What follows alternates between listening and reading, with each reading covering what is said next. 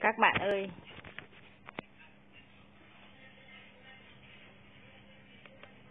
À, chúc các bạn à, một buổi tối à, ngọt ngào yêu thương.